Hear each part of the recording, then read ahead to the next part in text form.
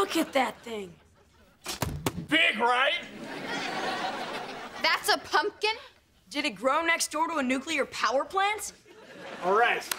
It's time to carve the biggest jack-o'-lantern of all time. How do you carve a pumpkin that big? Same way I make onion rings.